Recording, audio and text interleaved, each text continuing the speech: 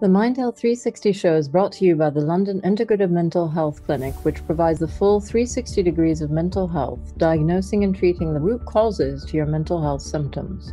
To find out more, or if there's anything in this episode you'd like help with, please find us at integrativementalhealth.com. Let's focus on some specific brain areas that are more affected by that inflammatory process than others. So we have the limbic system, which is the part of the brain that controls emotion and sensitivity. We have the vagus nerve, which with the limbic system regulates and monitors our perception of safety. Um, whether we feel safe in our body or safe in our environment. And the vast majority of our patients with mold toxicity don't feel safe in their environment or in the world. Many of them have developed extreme sensitivities, chemicals, food, light, sound, touch, EMF. Welcome to the Mind Health 360 show. I'm Kirkland Newman, and if you, your loved ones, or clients suffer from mental health issues such as depression, anxiety, insomnia, poor memory, poor attention, mood swings, exhaustion, etc., I interview the leading integrative mental health practitioners from around the world to help you understand the root causes of these symptoms, many of which may surprise you and suggest solutions to help you heal. If you like this interview, please do subscribe and forward to others who might find it helpful. If you want further information, please go to www.mindhealth360.com or find us on social media. Dr. Jill Crista and Dr. Neil Nathan, thank you so much for being here on the Mind Health 360 show. Very grateful to have you both. Dr. Neil Nathan and I already did a wonderful interview on Lyme and mold a few months ago, actually, which was very well received. And Dr. Jill, first time I have you on the show, and I'm very, very happy to have you here. So, Dr. Neil Nathan has been practicing medicine for 48 years and has been board certified in family practice and pain management, and is a founding diplomate of the American Board of Integrative Holistic Medicine and a founding diplomate of ISEAI. He's written several books, including Healing is Possible, New Hope for Chronic Fatigue, Fibromyalgia, Persistent Pain, and Other Chronic Illnesses, and On Hope and Healing for Those Who Have Fallen Through the Medical Cracks. His current medical practice is in Redwood Valley Clinic in Northern California, and he can be contacted uh, through his website, neilnathanmd.com. It is worth saying that he has been treating chronic complex medical illnesses for 25 years and Lyme disease for the past 15 years. And he is really very well known for specializing in patients who become so sensitive and toxic that they can no longer tolerate their usual treatment. And he's very good at helping them to recover. Dr. Jill Crista is a naturopathic doctor, a best selling author, and internationally recognized educator on neuroinflammatory conditions such as mold, Lyme, PANDAS, and PANS, and post concussion syndrome. She is the author of Break the Mold Five Tools to Conquer Mold and Take Back Your Health, and supports mold sick people through her Mold Canary membership. She also provides online training for medical practitioners wanting to become mold literate. So, really grateful to have you both here because I think, you know, when we think of mental health issues, depression, anxiety, insomnia, cognitive decline, poor memory, poor attention, we don't often think of mold. We think maybe of many things, but but mold is not the first thing that comes to mind. So what I'd love to hear from you both is in your experience, what made you both gravitate because obviously, you know, Dr. Neil, you're a family practitioner. Dr. Jill, you're a naturopath. You treat everything. What made you both gravitate towards mold, and why has this become such a sort of crucial issue for you in your practices? Jill, why don't you kick it off? Okay. well, for me, I ended up uh, starting my practice, which was primary care practice in southern Wisconsin, which ended up being a Lyme endemic area. I didn't realize that, and I didn't know a lot about Lyme disease. Um, but you know, with with functional naturopathic medicine, when you identify the cause and you treat the cause, people tend to get better. It's very elegant. And I was having success with the majority of my patients using those principles, except this other group of people, which ended up having chronic Lyme. And so then I became a Lyme specialist. And again, applying the principles of find and treat the cause, people were getting better, except this other group of people that were doing everything right. You know, these are the hardest working patients. When someone comes to a a practitioner like us, they know they're going to get homework. They know that, and they're willing. You know, they wouldn't come to us unless they were willing, hopefully. and you know, these hardworking patients have thought, what in the world is going on? What am I missing? And in one of those patients, they found black mold in his home, so Stachybotrys. And I, I went to his home and did the whole tour with the inspector. And it was my very first Pandora's box opening of, oh my goodness, this mold thing is so much bigger than an allergy problem. This is so much bigger than what I understood. And when I hit the research, I was able to identify mold type symptoms in all of those people that were what I'll call like chronic Lyme long haulers, and that we just weren't getting to the bottom of it.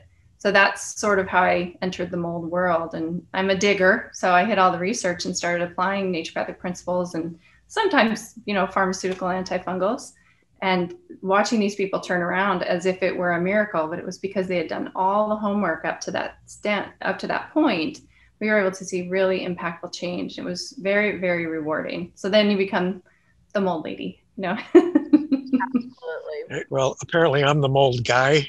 Yeah. So I think we'll make a good team here, Jill. Um, my entry into the mold world, somewhat similar. I was considered by many people at this point in my career an expert on chronic fatigue and fibromyalgia and Lyme. And was having, like Jill, a large number of patients who did everything I asked them to do and they weren't getting better. And one day, a, uh, a woman came into my office and she plunked a book called Mold Warriors by Ritchie Shoemaker on my desk and she said, Read this. And I have a stack of books always on my desk that I'm reading. So I stuck it on top of the stack and said, Okay, I'll get to it. She said, No, you don't really understand. I am paying you at this visit for you to sit down and read this book now. Great. If people will actually pay me to read, this is a great way to earn a living. I can I can get get behind this. Fortunately, the heart of Shoemaker's book began early on in the book where he described uh, what he called the biotoxin pathway. And I read the biotoxin pathway and I went, ah, this guy is brilliant. He has he has found answers that I've been looking for for a long time. I literally called his office from my office that day and said, "You have some time? Can I fly out and see you? Can I study with you?" And Ritchie, who is a bit of a character, looked at me suspiciously over the phone and said, "Who are you and why do you want to come out and visit with me?" I said, "Because I'm reading your book and it's brilliant and I want to study with you." And so he was okay with that. I, I, the next weekend, I literally flew out to Pocomoke, Maryland, which is on the eastern seaboard. It's kind of out in the middle of nowhere. Um, and uh, I spent time with him and we became friends. And I learned his method. And that evolved into my recognition at the amazing number of people with mold toxicity that weren't getting diagnosed, that no one had any idea what to do with. And that, like Jill, I plunged into my research and my reading, and that's evolved into my understanding of, of mold toxicity. So once the light bulb turned on and one recognizes this is not rare, in, in, in the United States, it's estimated that as many as 10 million people are currently suffering with mold toxicity. And so, not rare. And Kiki in the UK, having quite a few UK patients um, in the wet, damp, old buildings, mold is very prevalent. So um, it's something that we really need to be honoring and looking at and treating because we can. So, in terms of mental health, how do you what are the symptoms? What are the ways that mold can impact our mental health? And what are the sort of symptoms that you associate with it? And also what is the mechanism of how mold can impact our mental health? Again jill why don't you start? We'll tag team here. Sure all right. Well, mechanism might be the easiest place to start because it does help explain some of the symptoms. It causes a lot of inflammation. So we know that systemic inflammation expresses in the brain. um, we have this idea that the blood-brain barrier, you know, has this big wall and nothing can get past, but that just isn't the case. Some of these mycotoxins can cross the blood-brain barrier and impact the brain in that way, inducing mast cells, inducing the immune system of the of the brain. We see that it can change how macrophages do their munching and eating of toxins. So it alters all of these systems that we have in place. And then there's a lot of gut breakdown, which we know the gut gut brain barrier can happen. So when we can actually get a leaky brain, so things can get into the brain tissue that otherwise with a healthy gut or a healthy blood brain barrier wouldn't be able to get in there. So we have many, many impacts that are happening at one time. And so I think the, the number one thing that I'm seeing is anxiousness as far as a mental health symptom. And I'd love to hear if Neil's seeing this, you know, what what level, but I'm careful not to say anxiety because I think that people have an idea of anxiety being anxiety disorder, something I need medication for. And that's just not really, while that can happen, the majority of the anxiousness that I'm seeing is a, it's more of an inner sense of unrest. Something's not okay. I'm not okay. My world is not safe. And, and it can also kind of create a belief system of that, that you come into the world now with the world is a dangerous place. I don't know, Neil, did you want to Sure, I can expand on that. Okay. okay. um, so, number one, that's absolutely correct. Inflammation is the key.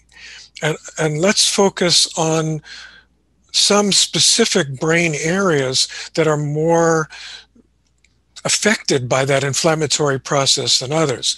So, we have the limbic system, which is the part of the brain that controls emotion and sensitivity. We have the vagus nerve, which with the limbic system regulates and monitors our perception of safety. Um, whether we feel safe in our body or safe in our environment. And the vast majority of our patients with mold toxicity don't feel safe in their environment or in the world.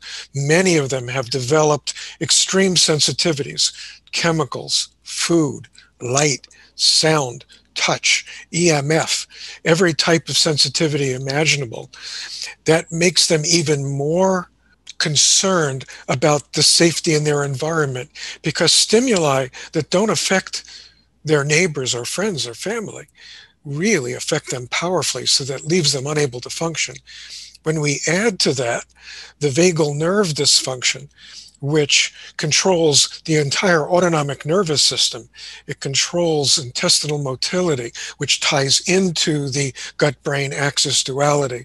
It ties into um, our ability to function either in fight or flight or shutdown mode by the way we react to these stressors so that between these two areas, the vagus nerve and the limbic system, this creates an extreme sensitivity on the part of our patients in which their their brain this is not psychological this is neurological their brain literally goes i'm not sure that what you're doing is safe and so i'm not going to let you do it and so we need to address those issues early on in treatment because they may not be able to take the substances that we need to give them to treat the mold successfully. And as you correctly point out, the mast cell um, activation process adds another level of inflammation to an already inflamed system here.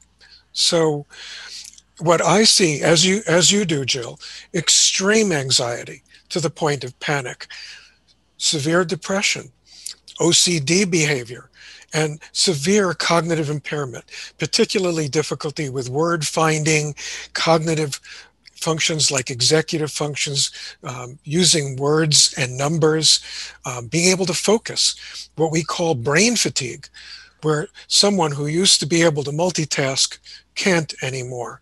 Now they don't even trust that they are correctly doing what they have known how to do their whole life. And these are extremely common with mold toxicity. I would say that the vast majority of my patients have some component of that. It's it's rare when they don't. It's fascinating because I was reading in Jill's book, which is something I'd never heard, is that Dale Bredesen, who is the sort of Alzheimer's guy, talks of mold toxicity in the form of in, inhalation Alzheimer's.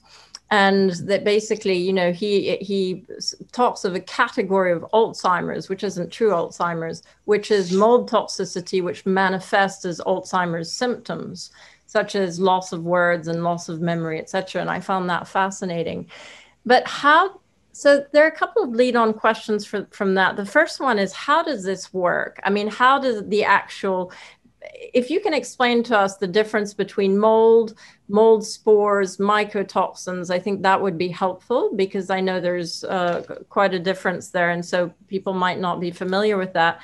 And second of all, how do these mold spores or mycotoxins cause that inflammation? That is such a great question because I think that when you look at the CDC's definition of mold related illness, they will define it as basically spore related interactions with the body. So that's going to be things like um, sinusitis, asthma, hypersensitivity, pneumonitis. And then the there's like no in between. You go from that to aspergillosis of the lungs. So, you know, the way that I see it is a much broader continuum. I know Neil as well, much broader continuum by looking at all the other ways that mold can harm a body. So just on the spore story, there are spore fragments. After mold dries and dies, it can break off these little friable fragments in a form of 500 to 1. So 500 fragments to one spore. And these little fragments are ultrafine particulate. So in they're in the PM 2.5 environmental um, respirable toxin category. They can kind of irritate the body like asbestos does. So they get into the lung tissue they can stay ever suspended in the lungs. Um, even a jogger, you know, of, a, of breathing in and out really rapidly, you get this little spinner in the lung that just stays there. And so it can create this persistent irritation, agitation, and affect the surfactant and the mucosal linings of the respiratory tissue. So that's the spore stuff. And then there are toxins or chemicals that happily living mold will secrete. This is things like mycophenolic acid, aldehydes, alcohols, I kind of a joke. I'm like, breathe moldy air, get drunk, you know, because you can, when you're breathing them in, your body has to take them in and deal with it. Uh, microbial VOCs, and that's when we see people get really chemically sensitive. Things, these are the types of things that can go through building material, even if the spores are locked behind that building material and you don't have any interaction with the spore or the fragment, you can be getting mycochemicals, so to speak. So the I call them mold farts in my book, just kind of trying to like you know, just happily living metabolizing mold and it's just off gassing these things. But then there's a whole other component called mycotoxins that are made by mold that wants to be competing for its territory. So it starts to try to gas bomb out other living things. And the intention of mycotoxins is to harm other living things we're not the target, but we get hit in the crossfire. And these are very ultrafine chemicals as well. So they can come through building materials such as flooring, roofing, drywall. It comes right through those materials because it's ultra small. They attach on to ultrafine particulate and dust and things in our air. And now that becomes an, an aeratable toxin. And that goes right into our bloodstream through our respiratory mucosa through the lung tissue, the alveoli, which are the smallest parts of our lungs, and that gets into our bloodstream. And now we have a toxin problem. And it can, those toxins can affect our own flora. Just by interacting with those toxins, our own flora will start to defend its territory. Because if you think about the intention in the toxin is the message is, I'm coming to invade you. And so our own flora goes from being a happy sinus biome or microbiome into a defensive status. And you add some vagus nerve problems in there where someone's in fight or flight or freeze mode. Now you have, you know, your inner microbial messaging is this system is under threat. And so it behaves completely differently. Okay. Did I hit it all, Neil? I, I think you're doing great. I, I think the, the take home message is we inhale it. Um, and it, it's, as Jill is telling us, it's an inflammatory soup that we're inhaling. It isn't just a spore. It's the spore, the fragments, the mycotoxins, the VOCs. There's a whole bunch of protein rich materials. There's a, bacterial species called uh, actinomyces. And this, what we call mold, is really this inflammatory soup. And all components of it have an inflammatory effect on the body and teasing it apart isn't helpful. Calling it mold toxicity is really the right way to look at it because it's a that's that's really what's happening here.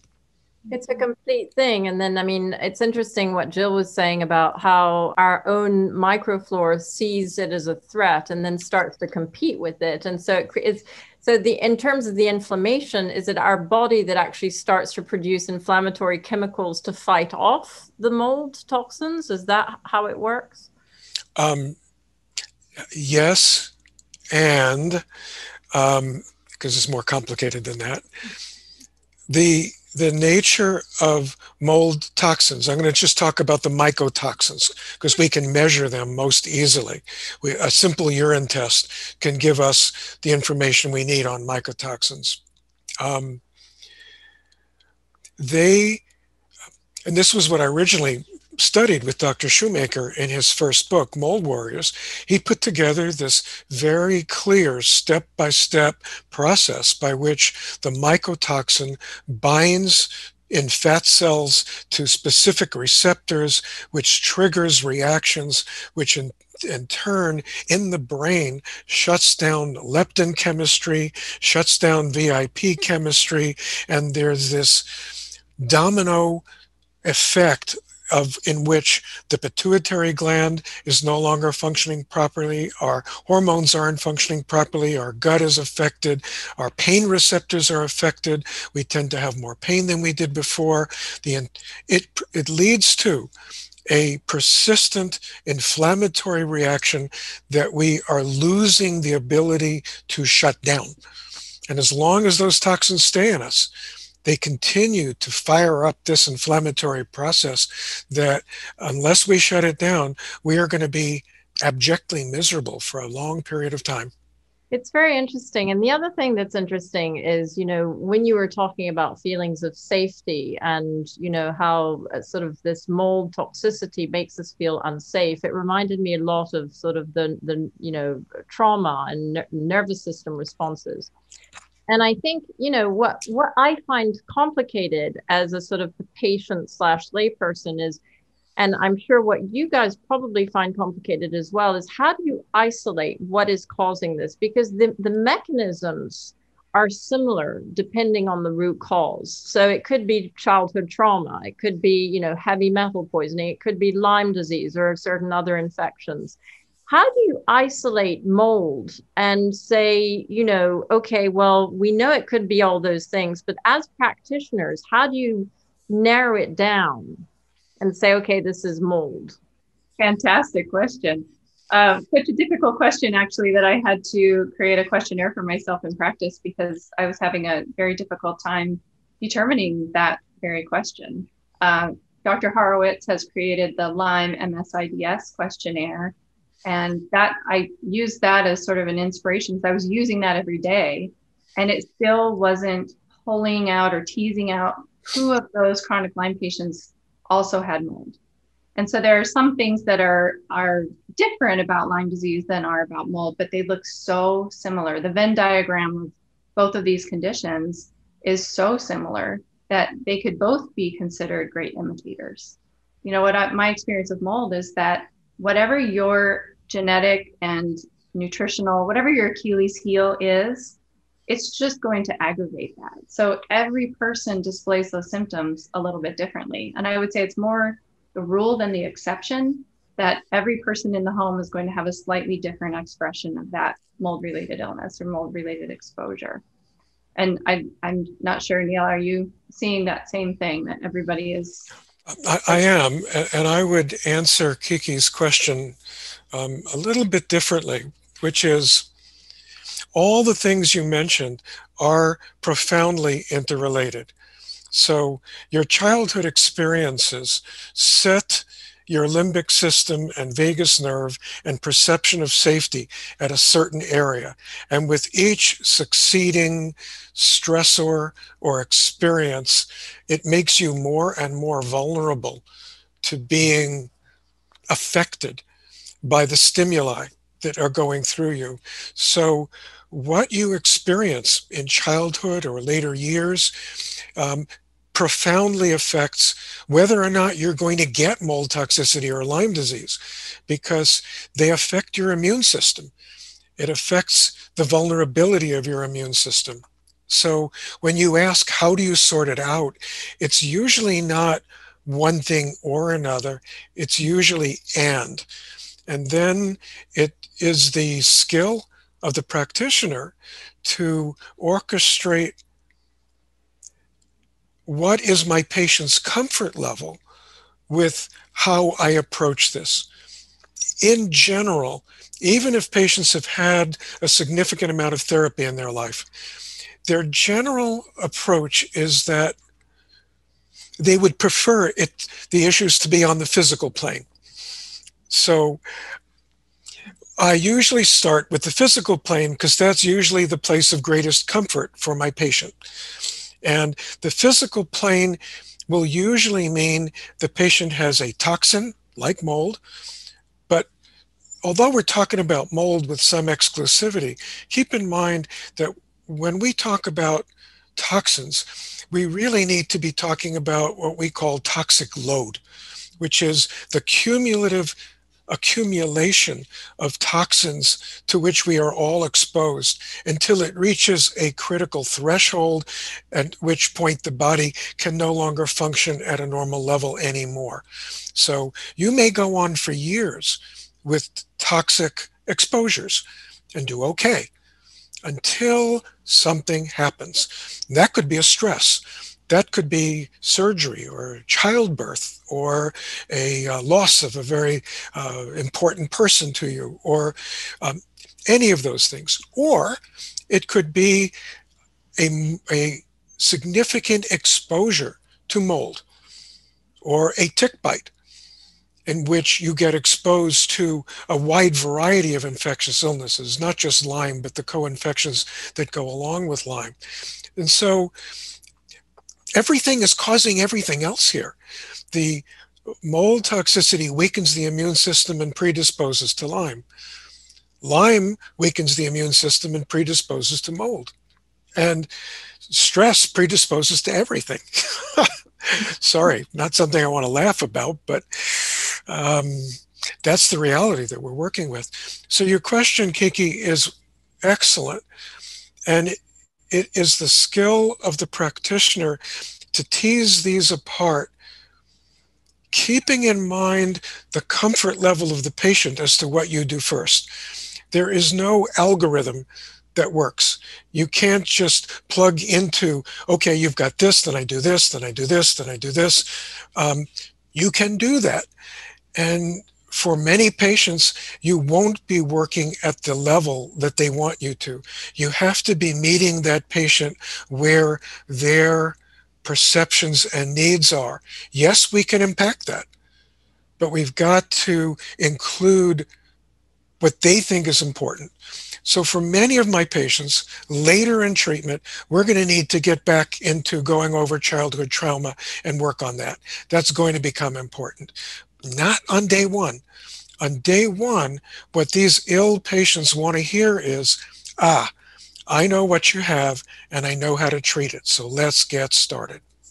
I think that's really true. And I was talking to a, patient the other day, in fact, who was a lady who came to me and uh, she was very interested in the genetics of mental health issues and the nutritional factors and all, all that. And it was only after a while of speaking to her that it became clear that she had a lot of childhood trauma, But it was a lot easier for her to focus on the biochemistry. And I think for all of us, it is in some sense easier. And that's one of the things I love about functional medicine and integrative psychiatry is that you can really focus on the biochemistry because there are downstream effects of the trauma and the you know there are a lot of biochemical effects. And equally what what's interesting is that you know in some ways i suppose you could just have mold poisoning but then that makes you susceptible to everything else on top of it. So you're right. I mean one has to be with a very skilled practitioner. I know you guys are doing a course in fact in april to train practitioners and healthcare practitioners in terms of treating mold and diagnosing it and, and treating it. Do you want to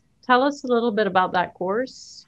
Sure. Uh, uh, maybe I'll start and Jill, you can chime in. Um, so, um, a few months ago, Jill and I realized that we had between us a lot of very valuable information. In, in um, often in my teaching, um, I teach mostly to medical audiences, and I have a particular way of looking at it. And I had the opportunity to listen to Jill give a bunch of lectures, and I realized she has other pieces of this that I think are very important. So I thought that a more comprehensive approach would be very, very helpful for uh, healthcare professionals so that they didn't get the idea that there was a way to do this that there were many ways to do this that they if they simplistically, the more tools you have in your toolbox, the more uh, problems that you can solve. I mean, that's really kind of what it boils down to. So we decided to put on a, a joint workshop, which we're going to be doing April 24th and 25th. Um, it's going to be a live Zoom meeting. Um, it will be taped, but I'm really going to encourage people to hear it live. The people who do participate in it we have kind of a bigger vision than that. We we were hoping to have every three months afterwards a three or four hour um, follow up in which the attendees would present their cases and Jill and I would separately go over those cases so you would get two different perspectives on how to look at it, how to work it up, how to treat it, how to manage it. Um, and that would be ongoing. In a sense, um, I know both Jill and I do mentoring programs already. I can't handle all the requests for mentorship I've got. And so this would be a way for us to get a larger audience, particularly in Europe.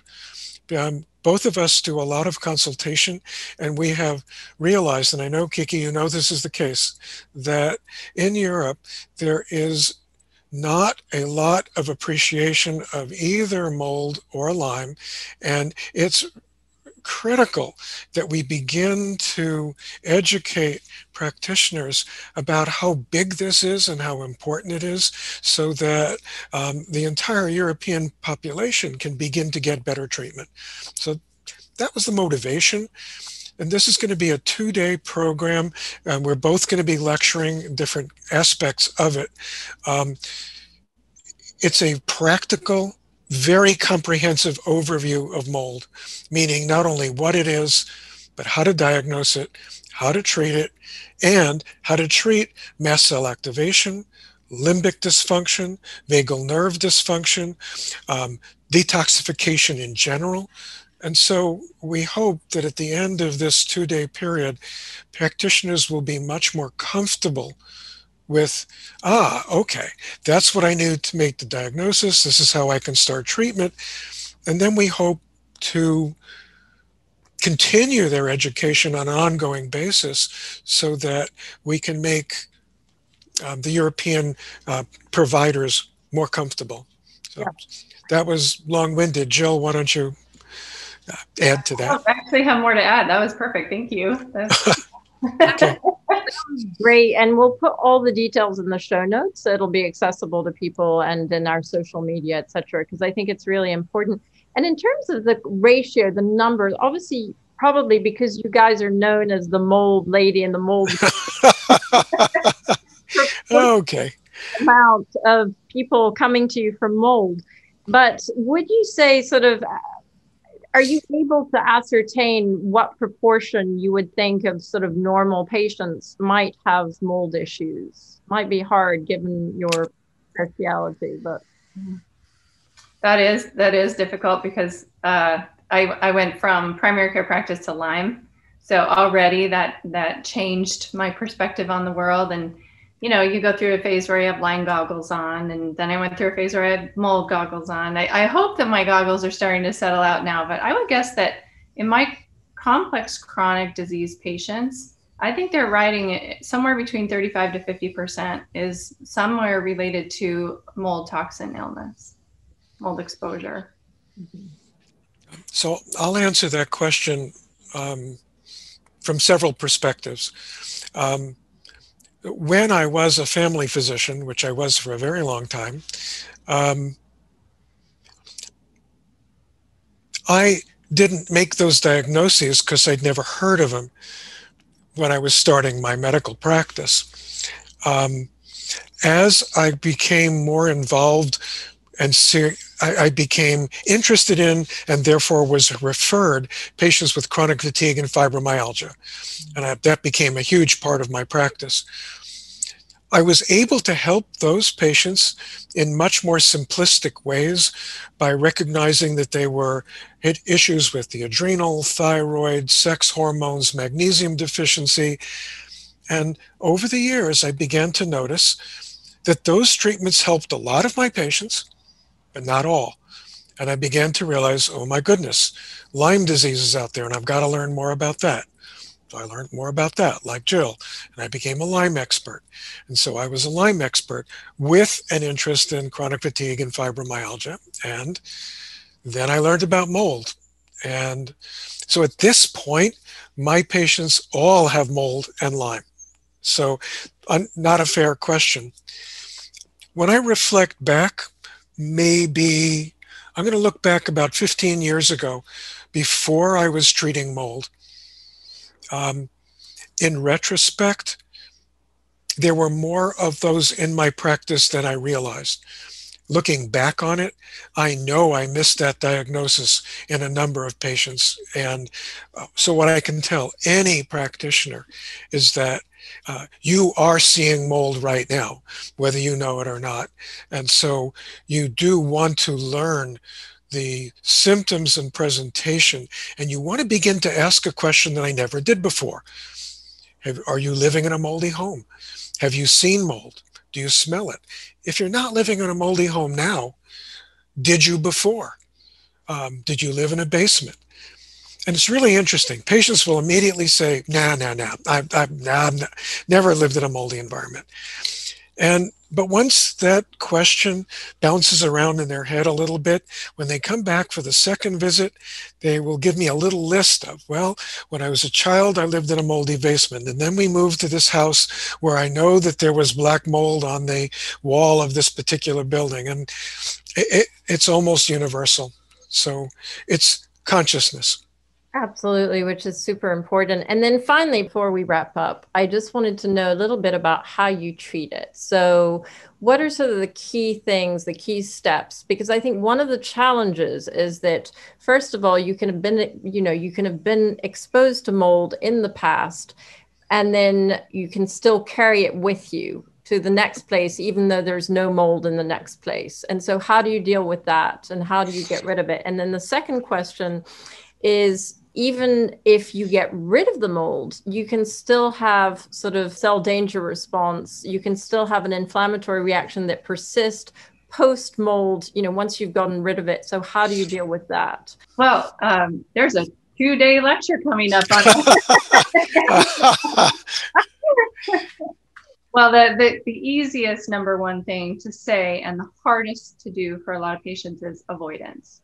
You know, we see in occupational studies when you take people out of that moldy exposure, and granted they're not moving their stuff with them or that kind of thing, half the people walk away completely fine. And so I think that's the hopeful message is that, you know, not everybody has to have this long story that you might get on mold Facebook groups and, and hear every horrible story.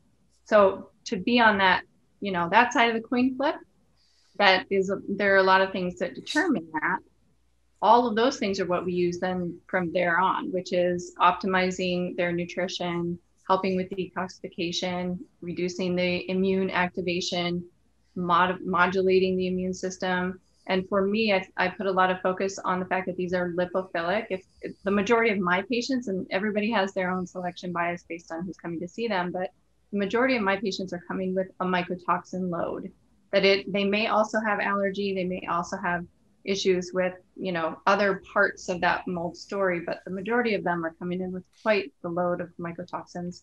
And I also endotoxins. So I love what Neil was saying is these water damaged buildings I wish we could call it water damage building illness because there are there's a bacterial load, there are, you know, biting insects that like to feed off mold that then affect the person and transmit infectious disease. There's all of these things in a in a water damage building that that is a bigger story than mold, but mold is really the mycotoxins are the most, I want to say the intention being the most dangerous. Um, so for me, then remembering that these are fat soluble, or lipophilic is the medical term, that means these are able to bioaccumulate and they're getting into tissues that we don't want them in, like bone marrow, like brain tissue, nervous system, the, the linings of our organs, the omentum that's guarding our visceral, our visceral um, tissues. So I was trained the solution to pollution is dilution. And that was drilled into my head. Solution to pollution is dilution. And if it's a fat soluble toxin, we need to dilute that with a lot of good quality fats and a lot of them. And we see this in the autism spectrum diagnoses that a lot of these kids need fat soluble nutrients and good fats. You almost need to flood them with fats. And so not only flooding them, but then helping that fat movement by helping, you know, bile movement and detoxification. Um, and then supporting their, if we look at animal studies, what they're doing is rather than feeding animals non-moldy food or feed, which would be one solution to that would be a little more, um, I don't know, we're weird as humans. What they're doing is they're adding bioflavonoids and they're adding herbs like turmeric to their feed. So if they're doing that to keep the animals alive, I think that we can safely do translational medicine and tell people that there are these specific nutrients and minerals and plants that can help the body detoxify and protect the cells. We see cytotoxicity or cytoprotection, genoprotection, and things that will stop carcinogenic processes, which is really a beautiful thing to be able to do for somebody because this is there's a lot of fear in this world of mold too that the story is you'll never get better. This is really hard you know all of those things. And so i'm hoping that we can take that you know through our teaching that we're, we're equipping doctors with the faith that there are things that you can do. And the last thing on my list and I used to have it as the the top of my list until I made people worse with it, which is antifungal therapy. I've noticed that people just need their microbiome to be reset and to get back into a, a commensal, happily living, sharing environment where they're sharing nutrients instead of competing for nutrients. That's like my big overview. well, that's great. And I have to say, in your book, there's a lot of information about the specific nutrients, and that's really helpful. So, and I'm sure in your two day course, it's going to be there's going to be some amazing stuff. Um, and then Neil. Well, to answer your question, I'm going to do it a little differently, which is I break down mold treatment into three major categories. Number one, you have to um, assess the patient's environment at home and at work to be sure they're not in a moldy environment. If they are in a moldy environment, they cannot get well until they fix the environment or move. It's non negotiable. And as Jill alluded to, very tricky, very difficult. There are all kinds of social reasons that moving is fraught with no, just difficulties. It's uh, people don't have the financial resources to do it. They're already living with their parents and and so on and so forth. But bottom line is you cannot get well if you stay in a moldy environment. You've got to get out of that environment or fix it, uh, which is doable most of the time. Number two, you need to take the binders, the specific binders, things like charcoal, clay, chlorella, um, Saccharomyces boulardii, and others that specifically bind those toxins to pull them out of the body. And thirdly, um, for many people, not all, you need to add an antifungal piece because if that patient is growing mold and candida in their sinus or gut areas, which is typically where it grows, they can't really get well until we get it out of there. And by that point, the body can reboot itself. One of the beautiful things about the human body is it's capable of healing if we give it what it needs to, to heal properly. And so um, you had alluded, Kiki, to the cell danger response, so that yes, if there is a prolonged inflammatory process, the key to shutting off the cell danger response is not convincing, but showing the body that what's triggering it is gone. So if the toxin is gone, then the mitochondria, which are the part of the body that monitor the whole cell danger response process, can go, ah, it's safe.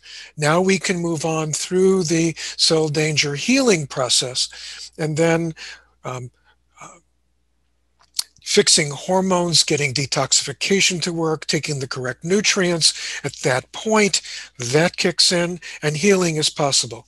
So if I have one message, it's, or 10 messages, it's Mold toxicity is common, needs to be looked at, diagnosed, but here's the big thing it can be successfully treated. So, as awful as people can feel, we can treat it. And that's really the take home message. And they get better. And I mean, I think two things that I just wanted to pick up on. One is, you know, the fact that even if you move from your water damaged building, when I was reading Jill's book, I was really upset to see that some of, you know, you, the things that you, your stuffed animals and your clothes and your books, these can contain, you know, the mycotoxins, the mold spores, the dust, etc. And if you bring that to your new environment, it can continue to impact you. How big a problem is that? I mean, do you have to sort of burn all your belongings if you, I mean, this is quite traumatic. well, I um, I'm pretty clear that I'm a body expert, not so much a building expert. Um, but you know, we as doctors, we do have to help our patients navigate these difficult decisions. I do recommend that people, and I know that in the UK, it's um, it's, it's hard to find someone, but that specializes in their building, in their environment, their built space, so that they can do some testing and figure out exactly what's going on. Just like Neil said, you you need to, you know, investigate what's going on with their current living environment. And the question about stuff comes up all of the time. Um, I highly recommend people go to Mold Finders Radio. It's a podcast that goes through all of these things, all of these questions. You know, what about stuff? Um, he has an algorithm as far as you know how porous is it to how how much does it mean to you like if it's a really porous thing and you have a lot of attachment to it maybe it needs to just be stored in plastic offsite somewhere else, you know, while you clean up your environment and you clean up your body. And once we get that cell danger response and that limbic system out of that mode of I'm not safe, and you can really distinguish what's affecting you and what's not, re engaging that intuition that is having a true reaction from a I'm going to react to everything reaction, and then interact with that thing later. But you know, stuff can wait. Nothing's going to expire you know that stuffed animal isn't going to expire. So it can be stored away and you can make these decisions with professionals who can test. And if you want to use your own body as that test that's one of the things that i think that we're both very engaged in is getting people that resilience back. You can heal and you can heal and be a better person a stronger person and one that trusts your intuition that when you go into a moldy hotel room you can say, This isn't going to be good for me. I'm going to request another room, and that's okay. Those kind of things, those kind of self protection things that really help keep your total toxic load down. Maybe they're, they don't use chemicals on their lawn anymore. Maybe they're not using chemicals for cleaning anymore because this happened. And that's going to benefit the whole planet if people are more conscious of that. Agreed. And one of the issues, though, when you talk about people coming and testing, is that a lot of the time people will come and test and say, well, you know, it's not that bad. They're very low levels here, which happened to a friend of mine. And, you know, yet if you do different types of tests, which is sort of the plates where you grow the, the mold essentially, which is much more thorough, you get a very different result. And a lot of the landlords are using sort of the more light, testing because it's in their interest to say actually this isn't that bad and frankly it doesn't harm you. And so there's not enough mainstream um, awareness of the fact that mycotoxins can be so harmful. And as you were saying, it's more of a focus on the mold spores and mold allergies, but that's just a tiny piece of the puzzle or the picture. So it's a challenge. And then the only other thing I wanted to touch on, and I know that you go through a number of different uh, supplements to help detoxification and and to help support mold, you know, uh, clearance. I guess sort of binders and things like milk thistle and resveratrol and and those types of things. And I'm interested in the way you talk about the answer to to pollution is dilution and the sort of the fats the fact that these toxins are fat soluble is fascinating. And so would you say that people who are on like very high fat but good fats like lots of olive oil and uh, avocados and nuts and seeds is that something that we should be doing to help us with mold toxicity I personally have found that to be really beneficial, especially if brain fog is an issue. You know, if there are a lot of cognitive problems or anxiety, I describe it, and it's very much oversimplifying it, but that the fat is coating your nerve. It's making you less, you know, the way my brain thinks about it. But that's why things like fiber and binders are so important is that you can be putting the fat in, but you really need to be having that interrupting that exchange of bile I tease that I'm a biolophile. I'm so into like making bile and getting people's bile moving and binding really what we're doing is we're binding the bile that's been detoxified as well as the other binders that are grabbing things that are unbound to bile. So it's that combination of things. And because a lot of people have endotoxin exposure, that's where some of these things like charcoal and clay can also benefit them because it can grab some of those. So I do see that, you know, the um, the the movement of bile has to be happening at the same time as you're dumping in more fats for dilution. And movement and grabbing of bile. Yeah. Fantastic. Excellent. Well, guys, that has been really, really fascinating and has given us just a taste of, you know, you both have some fantastic books. Dr. Neil, your your book Toxic is fantastic. Dr. Jill, Breaking the Mold is brilliant. So highly recommend those. And then your course on the 25th, 4th and 25th of April, I think is going to be brilliant. So well done for doing that. And and thank you both so much for your time. Just want to thank you for giving us the opportunity to share what we know with you and your audience. And I hope this will be helpful for them. Excellent. Well, thank you so much, both of you. Thank you so much for listening to the Mind Health 360 show. I hope that we've helped you realize that mental health symptoms have root causes that can and need to be addressed in order to sustainably heal, and have given you some ideas about steps you, your loved ones, or clients may take to start their healing journey. Please share this interview with anyone you think may find it helpful, and don't forget to subscribe to keep up to date with our latest interviews on integrative mental health. If you want further information, please go to www.mindhealth360.com or find us on social media. This information is for educational purposes only and is not intended to diagnose or treat any disease or to replace medical advice. Please always consult your healthcare practitioner before discontinuing any medication or implementing any changes in your diet, lifestyle, or supplement program.